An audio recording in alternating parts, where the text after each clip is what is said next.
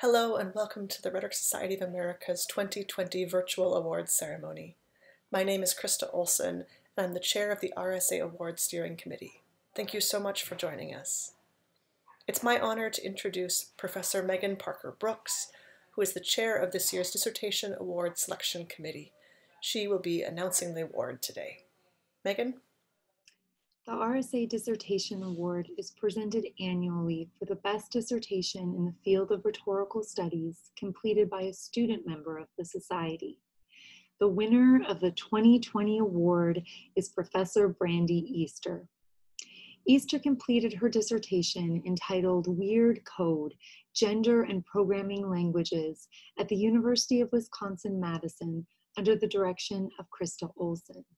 She is currently an assistant professor in the writing department at York University of Canada. The 2020 selection committee, which consisted of Jose Cortez, Anita Mixon, and Amy Reed, found Easter's project to be exceptional in its innovative and rigorous approach to synthesizing research from digital, new media, feminist, queer, software, and disability studies into a project that is equal parts artful, timely, and incisive in its critique. The committee is confident that Weird Code will soon become an influential book in the field of rhetoric and beyond.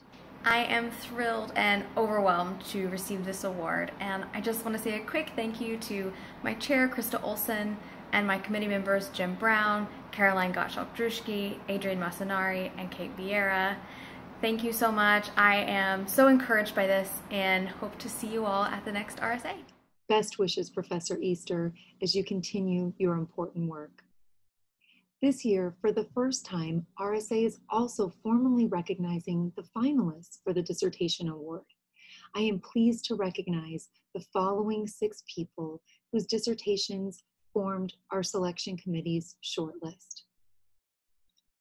Lauren De La Cruz, who received a PhD from Northwestern University and authored the project Magnetic Memory Things Objects of Emotion, Memory, and Femininity in U.S. Public Culture.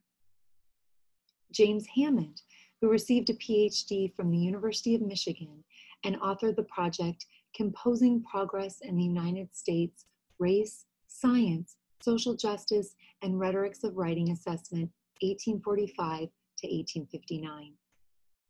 Shewonda Leger, who received a PhD from Michigan State University and created the multimedia project entitled The Cultivation of Haitian Women's Sense of Selves Towards a Field of Action. Caitlin Pasha, who received a PhD from Penn State University and authored the project The Futility of Knowledge, the Democratic Faith of W.B. Du Bois and Jane Addams. Carl Schlachte, who received a PhD from the University of North Carolina at Greensboro and authored the project Before the Aftermath, a pedagogy for disaster responsiveness. Nathan Tillman, who received a PhD from the University of Maryland and authored the project School, State, and Nation, Educational Rhetorics at a Korean Women's College during and after Japanese colonization, 1918 to 1965 please join me in congratulating Professor Easter, these six finalists, and the networks that supported them.